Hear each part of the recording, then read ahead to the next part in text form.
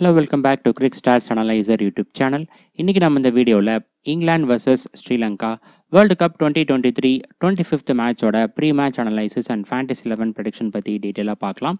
இந்த மேட்ச் எப்போ ஸ்டார்ட் ஆக போகுதுன்னா டுவெண்ட்டி சிக்ஸ்த் அக்டோபர் தேர்ஸ்டே மதியம் ரெண்டு மணிக்கு ஆரம்பிக்க போகுது. எம் சின்னசாமி ஸ்டேடியம் பெங்களூரில். அடுத்ததா வெதர் ரிப்போர்ட் பார்க்கலாம். இந்த மேட்ச்சுக்கு பிரைட் சன்னி வெதர் எக்ஸ்பெக்ட் பண்ணலாம். Temperature around thirty one degree Celsius இருக்கும். அடுத்ததாக பிச் ரிப்போர்ட் பார்க்கலாம். இந்த மேட்ச்சுக்கு பேட்டிங் ஃப்ரெண்ட்லி ட்ராக் நம்ம எக்ஸ்பெக்ட் பண்ணலாம். ஜென்ரலாக சின்னசாமி ஸ்டேடியம் பொறுத்த வரைக்கும் ஒரு பேட்டிங் ஃப்ரெண்ட்லி ட்ராக்காக தான் இருந்திருக்கு. லாஸ்ட்டாக இங்கே நடந்த ஆஸ்திரேலியா வர்சஸ் பாகிஸ்தான் மேட்ச்லேயே பார்த்துருப்பீங்க. ரெண்டு டீமோட டாப் ஆர்டர் பேட்டர்ஸும் ரொம்ப நல்லா பர்ஃபார்ம் பண்ணியிருந்தாங்க. அதே போல் ஒரு பிச் கண்டிஷன் இந்த மேட்சுக்கும் நம்ம எதிர்பார்க்கலாம். அடுத்ததாக ஹெட் டு ஹெட் ரெக்கார்ட் பார்க்கலாம். இதுவரை இந்த ரெண்டு அணிகளும் செவன்ட்டி எயிட் டைம்ஸ் ப்ளே பண்ணியிருக்காங்க. அதில் இங்கிலாந்து தேர்ட்டி எயிட் கேம்ஸ்லையும் ஸ்ரீலங்கா தேர்ட்டி சிக்ஸ் கேம்ஸ்லையும் வின் பண்ணியிருக்காங்க. ஒரு மேட்ச் டை ஆயிருக்கு. லாஸ்ட் த்ரீ இயர்ஸாக ப்ளே பண்ண ரெண்டு மேட்ச்சில் சாரி மூணு மேட்ச்சில் ரெண்டு மேட்ச்சில் இங்கிலாந்து வின் பண்ணியிருக்காங்க. ஒரு மேட்ச் ரெயினால் கேன்சல் ஆயிடுச்சு இந்த கிரவுண்டில் இங்கிலாந்து ப்ளே பண்ண ஃபைவ் மேட்சஸில் ரெண்டு மேட்ச்சில் வின் பண்ணியிருக்காங்க. ரெண்டு மேட்ச்சில் டிஃபீட்டாக இருக்காங்க வின் ரேட் எக்ஸாக்டாக ஃபிஃப்டி பர்சன்டேஜ் இருக்குது ஸ்ரீலங்கா இங்கே ப்ளே பண்ண ஒரு மேட்ச்சில் தோல்வி அடைஞ்சிருக்காங்க. பட் அந்த மேட்ச் நைன்டீன் எயிட்டி டூவில் நடந்தது. அடுத்ததாக வென்யூ ஸ்டார்ட்ஸ் பார்க்கலாம். டூ தௌசண்ட் செவன்டீன்லேருந்து இந்த கிரவுண்டில் மூணு ஒன் டே மேட்சஸ் நடந்திருக்கு.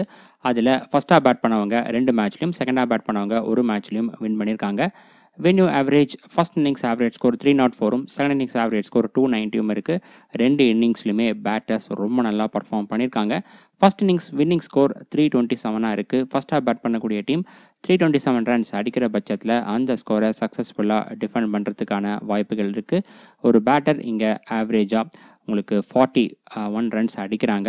ரொம்ப ஹையாக இருக்குது பேட்டர்ஸ் இங்கே ரொம்ப நல்லா பர்ஃபார்ம் பண்ணியிருக்காங்க அடுத்ததாக ஃபாஸ்ட் போலர்ஸ் அண்ட் ஸ்பின்னர்ஸ் இந்த கிரவுண்டில் இதுவரை எப்படி பர்ஃபார்ம் பண்ணியிருக்காங்க அப்படிங்கிறத பார்க்கலாம். டூ தௌசண்ட் செவன்டீன்லேருந்து இங்கே நடந்த three one day மேட்சஸில் fast bowlers one hundred and seventy two overs bowl பண்ணியிருக்காங்க அதில் தேர்ட்டி டூ விக்கெட்ஸ் எடுத்திருக்காங்க.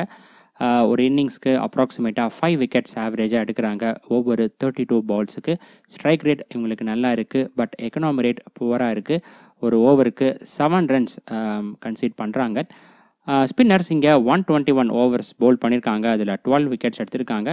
ஒரு இன்னிங்ஸ்க்கு ரெண்டு விக்கெட் எடுக்கிறாங்க ஆவரேஜாக ஸ்ட்ரைக் ரேட் ரொம்ப புவராக இருக்குது ஒவ்வொரு சிக்ஸ்டி பால்ஸுக்கு தான் ஒரு விக்கெட் எடுக்கிறாங்க. எக்கனாமி ரேட்டும் சுமாராக தான் இருக்குது அடுத்ததாக எம் சின்னசாமி ஸ்டேடியம் பெங்களூரு. இந்த கிரவுண்டோட மேட்ச் ப்ரோக்ரஷன் ஸ்டாட்ஸ் பார்க்கலாம்.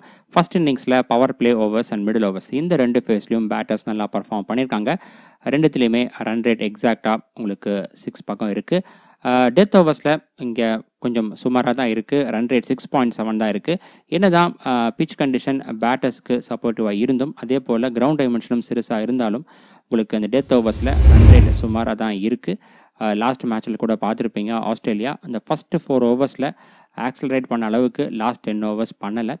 பட் இது எல்லா மேட்ச்லையும் நடக்கும்னு சொல்ல முடியாது. வரக்கூடிய மேட்ச்சில் ஒருவேளை இங்கிலாந்து ஃபஸ்ட்டாக பேட் பண்ணாங்க அப்படிங்கும்போது இந்த டெத் ஓவர்ஸில் நல்லா பர்ஃபார்ம் பண்ணுறதுக்கான வாய்ப்புகள் இருக்குது bowlers middle overs and death overs இந்த ரெண்டு ஃபேஸில் தான் அதிகமான விக்கெட்ஸ் எடுத்திருக்காங்க. மெயினாக அந்த டெத் ஓவர்ஸில் தான் அதிகமாக எடுத்திருக்காங்க. லாஸ்ட் மேட்ச்சில் கூட அஹ், ஷா ஃப்ரெடி இந்த டெத் ஓவர்ஸ் ஃபேஸில் தான் நிறையா விக்கெட்ஸ் எடுத்திருந்தார். அடுத்ததாக செகண்ட் இன்னிங்ஸ் மேட்ச் ப்ரோக்ரஷன் பார்க்கலாம். செகண்ட் இன்னிங்ஸில் இங்கேயும் power play overs and middle overs இந்த ரெண்டு ஃபேஸ்லையும் பேட்டர்ஸ் நல்லா பர்ஃபார்ம் பண்ணியிருக்காங்க ஃபஸ்ட் இன்னிங்ஸ் கூட கம்பேர் பண்ணும்போது இந்த செகண்ட் இன்னிங்ஸ் டெத் ஓவர்ஸில் ஓரளவுக்கு பெட்டராக பர்ஃபார்ம் பண்ணியிருக்காங்க பொதுவாக இந்த ஹை ஸ்கோரிங் கேம் அதாவது பேட்டிங் ஃப்ரெண்ட்லி ட்ராக்லலாம் செகண்டாக பேட் பண்ணும்போது ரிக்வயர்ட் ரன் ரேட் ப்ரெஷர்னால பேட்டர்ஸ் அவுட் ஆகிறதுக்கான வாய்ப்புகள் அதிகமாக இருக்குது அதுதான் மிடில் ஓவர்ஸ் அண்ட் டெத் ஓவர்ஸில் நடந்திருக்கு. ரெண்டு இன்னிங்ஸோட பவர் பிளே ஓவர்ஸில் அந்தளவுக்கு விக்கெட்ஸ் விழுகலை. லாஸ்ட்டாக நடந்த மூணு மேட்ச்சில் ஃபைனலாக பார்த்தோம்னா டஃபஸ்ட்டு ஃபேஸ் டு பேட் அப்படின்னு சொல்கிற மாதிரி எந்த ஃபேஸுமே இல்லை இந்த கிரவுண்டில் ஈஸியஸ்ட்டு ஃபேஸ்னால் உங்களுக்கு எல்லா ஃபேஸ்லையும் நல்லா பர்ஃபார்ம் பண்ணியிருக்காங்க அந்த டெத் ஓவர்ஸில் மட்டும் அவங்க பர்ஃபார்மன்ஸ் கொஞ்சம் சுமாராக இருக்குது அதே போல் எந்த ஒரு பவுலிங் டைப்பும் இங்கே எஃபெக்டிவாக பர்ஃபார்ம் பண்ணலை. ஃபுல் அண்ட் ஃபுல்லாக பேட்டர்ஸ் தான் டாமினேட் பண்ணியிருக்காங்க அடுத்ததாக இங்கிலாந்து டீம் ப்ரிவ்யூ பார்க்கலாம். அதில் ஃபஸ்ட்டு ஃபார்ம் கைட் இங்கிலாந்து இந்த வேர்ல்டு கப்பில் இதுவரை நாலு மேட்ச் ப்ளே பண்ணியிருக்காங்க அதில் ஒரு மேட்ச் தான் ஜெயிச்சிருக்காங்க. மூணு மேட்ச்சில் தோல்வி அடைஞ்சிருக்காங்க. கண்டினியூஸாக லாஸ்ட் ரெண்டு மேட்ச் தோல்வி அடைஞ்சிருக்காங்க. இதில் சர்ப்ரைசிங்காக ஆப்கானிஸ்தான் டீமுக்கு எதிராக தோல்வி அடைஞ்சிருந்தாங்க. வரக்கூடிய மேட்ச்சில் சில மேட்சஸில் பிக் மார்ஜினில் வின் பண்ணால் மட்டுமே அடுத்த அதாவது செமிஃபைனல்ஸுக்கு இவங்க குவாலிஃபை ஆக முடியும்.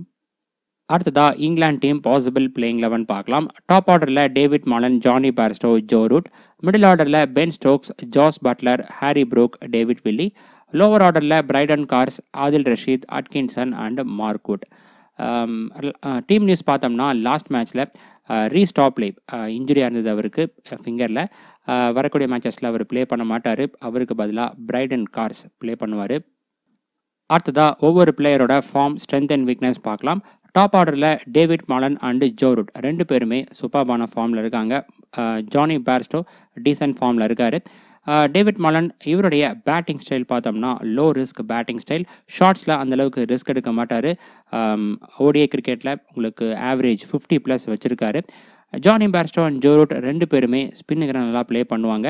இதில் ஜானி பேர்ஸ்டோவுக்கு லெஃப்ட் ஆர்ம் பேசருக்கு எதிராக த்ரெட் இருக்குது இந்த போட்டியில் ஆப்போசிட் டீமில் தில்ஷன் மதுசங்கர் இருக்கார்.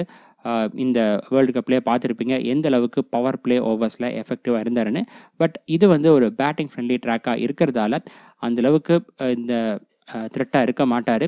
இருந்தாலும் இந்த ஸ்ட்ராட்டஜியை நீங்கள் கிராண்ட் லீக்கில் ட்ரை பண்ணுங்கள் குறிப்பாக இங்கிலாண்டு செகண்டாக பேட் பண்ணுறாங்க அப்படிங்கும்போது இந்த ஸ்ட்ராட்டஜியை நீங்கள் ட்ரை பண்ணுங்கள் மிடில் ஆர்டரில் கிட்டத்தட்ட எல்லாருமே டீசென்ட் ஃபார்மில் இருக்காங்க.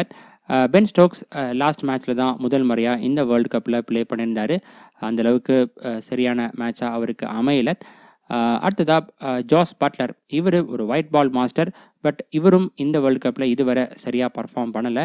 அது மட்டும் இல்லாமல் இந்தியன் கண்டிஷனில் ரெக்கார்ட்ஸ் இவருக்கு ரொம்ப சுமாராக இருக்குது ஒன் டே ஃபார்மேட் பொறுத்த வரைக்கும் ஹாரி ப்ரூக் இவர் வந்து ஒரு பேஸ் ஹிட்டர் ஸ்பின்னுக்கு எதிராக அதிகம் ட்ரபிள் ஆவார்.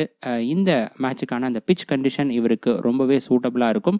பட் இவர் லோவர் ஆர்டரில் கிளம்பிறங்கிறதால ஃபேண்டசி பொறுத்த வரைக்கும் பெஸ்ட் ஆப்ஷனாக இருக்க மாட்டார். ஒருவேளை இவர் டாப் ஆர்டரில் கிளம்பிறங்குறாரு அப்படிங்கிற பட்சத்தில் பெஸ்ட் ஆப்ஷனாக இருப்பார். டேவிட் வெல்லி லாஸ்ட் மேட்ச்சில் சவுத் ஆஃப்ரிக்கன் டீமுக்கு எதிராக அந்தளவுக்கு பெஸ்ட்டாக பர்ஃபார்ம் பண்ணலை. பவர் பிளே ஓவர்ஸில் நல்லா எஃபெக்டிவாக இருப்பார். பட் இந்தியன் கண்டிஷனுக்கு அந்தளவுக்கு இவர் சூட்டபுளாக இல்லை. இதுக்கு முன்னாடியும் அந்தளவுக்கு எஃபெக்டிவாகவும் இல்லை. லோவர் ஆர்டரில் பிரைடன் கார்ஸ் இவர் நல்ல ஃபார்மில் இருக்கார். மற்ற மூணு பேருமே டீசென்ட் ஃபார்மில் இருக்காங்க. பிரைடன் கார்ஸ் இவர் அந்தளவுக்கு இன்டர்நேஷ்னல் மேட்சஸ் ப்ளே பண்ணதில்லை. நிறையா டொமஸ்டிக் மேட்சஸ் ப்ளே பண்ணியிருக்காரு நல்ல பேஸில் பவுல் பண்ணுவார்.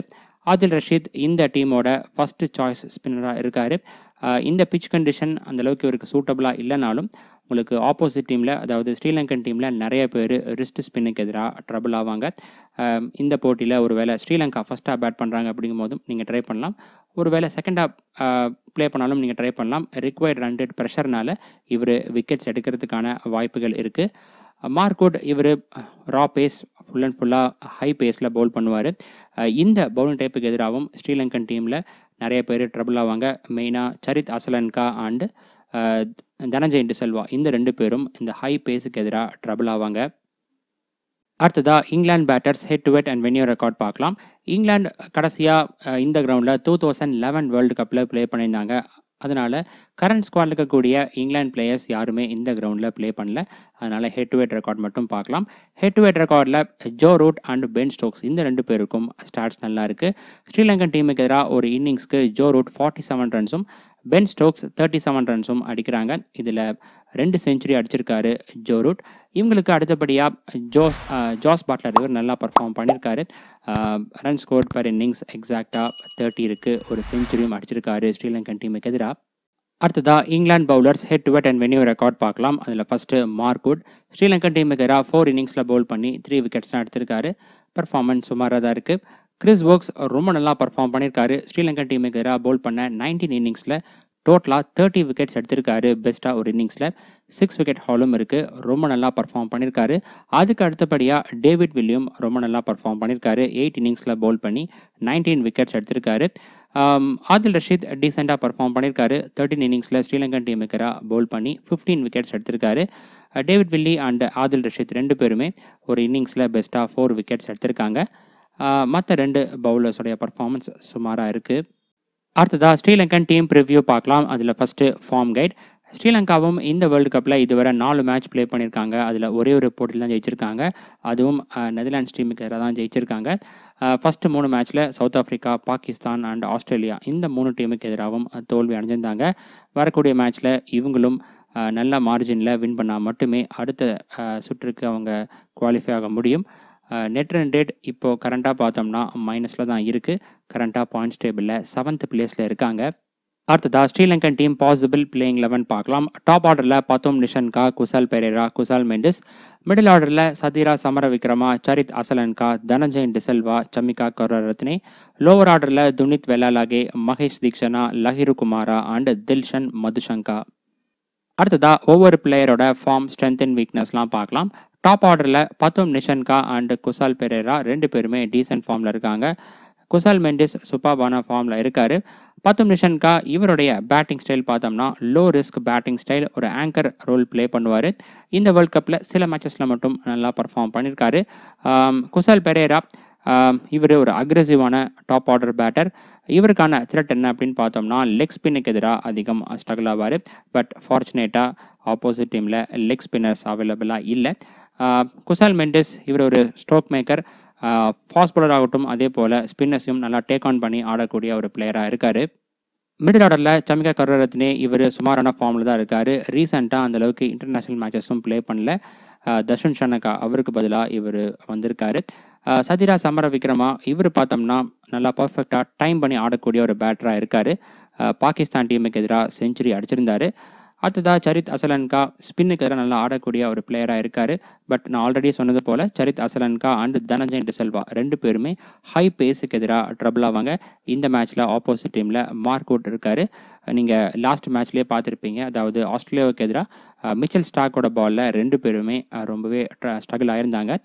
லோவர் ஆர்டரில் தில்ஷன் மதுசங்கா சூப்பர்பான ஃபார்மில் இருக்கார். லாஸ்ட்டாக நடந்த ரெண்டு மேட்சும் நல்லா பர்ஃபார்ம் பண்ணியிருக்காரு ஆஸ்திரேலியாவுக்கு எதிராகவும் நெதர்லாண்ட்ஸ் டீமுக்கு எதிராகவும். மற்ற மூணு பேருமே டீசென்ட் ஃபார்மில் இருக்காங்க. துனித் வெலாலாகே அண்டு மகேஷ் தீக்ஷனா ரெண்டு பேருக்கும் இந்தியன் கண்டிஷன் சூட்டபிளாக இருந்தும் அந்தளவுக்கு பெருசாக பர்ஃபார்ம் பண்ணலை. அடுத்ததாக Sri Lankan batters head to head and venue record பார்க்கலாம். ஸ்ரீலங்கன் பிளேயர்ஸில் யாருமே இந்த கிரவுண்டில் இதுவரை ப்ளே பண்ணதில்லை. அதனால் ஹெட் டு ஹெட் ரெக்கார்ட் மட்டும் பார்க்கலாம். ஹெட் டு ஹெட் ரெக்கார்டில் குசால் மெண்டிஸ் அண்டு சதிரா சமர விக்ரமா இந்த ரெண்டு பேருக்கும் மட்டும்தான் ஸ்டாட்ஸ் ஓரளவுக்கு டீசெண்டாக இருக்குது இங்கிலாந்து டீமுக்கு எதிராக ரெண்டு பேருமே தேர்ட்டி ஒன் ரன்ஸ் ஒரு இன்னிங்ஸ்க்கு அடிக்கிறாங்க. அடுத்ததாக Sri Lankan bowlers head to head and venue record பார்க்கலாம். ஸ்ரீலங்கன் பவுலர்ஸில் மோஸ்ட் ஆஃப் தம் இங்கிலாந்து டீமுக்கு இதுவரை ப்ளே பண்ணதில்லை. சில பேரோட ஸ்டாட்ஸ் தான் அவைலபிளாக இருக்குது அவங்களது மட்டும் பார்க்கலாம். அதில் தனஞ்சன் டிசெல்வா டீசெண்டாக பர்ஃபார்ம் பண்ணியிருக்காரு சிக்ஸ் இன்னிங்ஸில் பவுல் பண்ணி ஃபைவ் விக்கெட்ஸ் எடுத்திருக்காரு. கரர் ரத்னே இவர் பவுல் பண்ண ரெண்டு இன்னிங்ஸில் டோட்டலாக ரெண்டு விக்கெட் தான் எடுத்திருக்காரு. பர்ஃபார்மன்ஸ் சுமாராக தான் இருக்குது அடுத்ததாக இந்த மேட்சுக்கான ஃபேண்டசி டீம் பார்க்கலாம். இந்த கிரவுண்டோட top order versus middle order average stats எடுத்து பார்த்தோம்னா most of the runs top order batters கிட்ட இருந்தால் வந்திருக்கு. லாஸ்ட் மேட்ச்சில் கூட பார்த்துருப்பீங்க ரெண்டு டீமோட டாப் ஆர்டர் பேட்டர்ஸ் கிட்ட இருந்தால் அதிகமான ரன்கள் வந்திருக்கு. அதையே நாம் இந்த மேட்சுக்கும் ஃபாலோ பண்ணலாம். இன்கேஸ் அந்த பிச் கண்டிஷனில் மாற்றங்கள் இருந்தால் மட்டும் அதுக்கேற்ற மாதிரி நம்ம அட்ஜஸ்ட் பண்ணிக்கலாம். மற்றபடி நம்ம அதே மாதிரியான பேட்டர்ன்லாம் எடுக்கிறது தான் நல்லது. கீப்பர் செக்ஷனில் குசால் மெண்டிஸ் இந்த மேட்ச்சுக்கு டாப் கேப்டன்சி பிக்காக இருக்கார். கரண்ட்டாக அவருடைய பர்சன்டேஜ் செலெக்ஷன் ஃபார்ட்டி பர்சன்டேஜ் இருக்குது கேப்டன்சியில் இது போக மற்ற ரெண்டு option Jos Buttler and Sadeera சமர் விக்ரமாக இருக்காங்க. எந்த டீம் ஃபஸ்ட்டாக பேட் பண்ணுறாங்க அதன் பொறுத்து அவங்களுடைய பிளேஸை நம்ம ஃபைனலைஸ் பண்ணிக்கலாம். பேட்டர்ஸில் David Malan Jonny Bairstow Joe Root Ben Stokes Pathum Nissanka Kusal Perera இதில் David Malan and Jonny Bairstow ரெண்டு பேருமே டாப் கேப்டன்சி பிக்காக இருக்காங்க. பத்தும் நிஷன்கா டிஃப்ரென்ஷியல் கேப்டன்சி பிக்காக இருக்கார். ஸ்ரீலங்கா ஃபஸ்ட்டாக பேட் பண்ணுறாங்க அப்படிங்கும்போது இவரை நீங்கள் கேப்டனாக ப்ரிஃபர் பண்ணலாம். ஒருவேளை உங்களுடைய பிளேயர்ஸில் ரிஸ்க் எடுக்கல அப்படிங்கிற பட்சத்தில் கேப்டன்சியில் ரிஸ்க் எடுக்கலாம். ஜிஎல்ல நீங்கள் கண்டிப்பாக குசல் பிரேராவை கேப்டனாக ப்ரிஃபர் பண்ணுங்கள் ஸ்ரீலங்கா ஃபஸ்ட்டாக பேட் பண்ணுறாங்க அப்படிங்கும்போது ஏன்னா பிச் கண்டிஷன் பேட்டர்ஸ்க்கு சப்போர்ட்டிவ் இருக்கிறதால இவர் ரொம்ப நல்லா பர்ஃபார்ம் பண்ணுறதுக்கான வாய்ப்புகள் இருக்குது ஆல்ரவுண்டர்ஸில் துனித் வெலாலாகே இப்போ இருக்கக்கூடிய அந்த ரெண்டு டீமோட பாசிபிள் பிளேயிங் லெவன் படி ஆல்ரவுண்டர் கேட்டகரியில் இவர் மட்டும்தான் பெஸ்ட் ஆப்ஷனாக தெரிகிறாரு ஒருவேளை இந்த போட்டியில் லிவிங்ஸ்டன் மொயின்லாம் ப்ளே பண்ணுறாங்க அப்படிங்கும்போது அவங்கள நம்ம பிக் பண்ணிக்கலாம். பவுலர்ஸில் Adil Rashid Mark Wood and Dilshan Madushanka. நான் ஆல்ரெடி சொன்னது போல் Adil Rashid and Mark Wood ரெண்டு பேருமே மேட்ச் அப் ஸ்பிக் ரிஸ்ட் ஸ்பின்னுக்கு எதிராகவும் ரா பேஸுக்கு எதிராகவும் ஸ்ரீலங்கன் டீமில் நிறையா பேட்டர் ஸ்ட்ரகிள் ஆவாங்க. அதனால தான் இவங்களை நம்ம ப்ரிஃபர் பண்ணியிருக்கோம். அடுத்ததாக இந்த மேட்சுக்கான ஸ்ட்ராட்டஜி பார்க்கலாம். அதில் first team strength and match outcomes team ஸ்ட்ரென்த்தில் Sri Lankan team விட இங்கிலாந்து டீம் தான் ஸ்ட்ராங்காக இருக்காங்க. மெயினாக பேட்டிங் யூனிட் இங்கிலாந்து டீமில் தான் பெஸ்ட்டாக இருக்குது இந்த பிச் கண்டிஷனுக்கு சூட்டபிளான பேட்டர்ஸ் அதாவது ஆங்கர் பேட்டர்ஸ் ஆகட்டும் டைனமிக் பேட்டர்ஸ் அக்ரெசிவ் ஆடக்கூடிய பேட்டர்ஸ் எல்லாருமே இங்கிலாந்து டீமில் தான் இருக்காங்க. மேட்ச் அவுட்கம்ஸில் உங்களுக்கு பயஸ்டாக இல்லை. ஃபஸ்ட்டாக பேட் பண்ணவங்களும் செகண்டாக பேட் பண்ணவங்களும் கிட்டத்தட்ட ஈக்குவலாக தான் வின் பண்ணியிருக்காங்க. இதெல்லாம் வச்சு பார்க்கும்போது நம்மளுடைய டீமில் பேட்டர்ஸ் அண்ட் பேட்டிங் ஆல்ரவுண்டர்ஸ் இவங்க தான் இவங்களை தான் அதிகமாக நம்ம ப்ரிஃபர் பண்ணணும். அடுத்ததாக வின்னர் ப்ரெடிக்ஷன் பார்க்கலாம். இந்த மேட்ச்சில் இங்கிலாந்து டீம் வின் பண்ணுறதுக்கான வாய்ப்புகள் தான் ரொம்ப அதிகமாக இருக்குது அந்த பிச் கண்டிஷனுக்கு சூட்டபிளான பிளேயர்ஸ் இங்கிலாந்து டீமில் தான் நிறையா பேர் இருக்காங்க. அதுவும் மெயினாக லிவிங்ஸ்டன் மொயின் அலி இவங்கெல்லாம் பிளேயிங் லெவனில் இருந்தாங்க அப்படிங்கிற பட்சத்தில் இன்னும் ரொம்ப ஸ்ட்ராங்காக இருக்கும். ப்ரீ மேட்ச் ஃபேவரட்ஸாக இங்கிலாந்து டீம் தான் இந்த மேட்ச்சுக்கு இருக்காங்க. ஓகே ஃப்ரெண்ட்ஸ் இந்த மேட்சுக்கான ஃபைனல் அப்டேட்ஸ் டாஸுக்கு அப்புறமா நான் டெலிகிராமில் அப்டேட் பண்ணுறேன் டெலிகிராம் சேனல் லிங்க் டிஸ்கிரிப்ஷன் பாக்ஸில் இருக்குது அந்த லிங்க்கை கிளிக் பண்ணி அங்கேயும் ஃபாலோ பண்ணிக்கோங்க. இந்த வீடியோவில் சொல்கிற ஸ்டாட்ஸ் போக இன்னும் நிறையா ஸ்டாட்ஸ் நான் அங்கேயும் ஷேர் பண்ணுவேன். அந்த ஸ்டாட்ஸ் எல்லாமே உங்களுக்கு ரொம்ப யூஸ்ஃபுல்லாக இருக்கும். அதனால் மறக்காமல் அங்கேயும் ஜாயின் பண்ணிக்கோங்க. Okay friends bye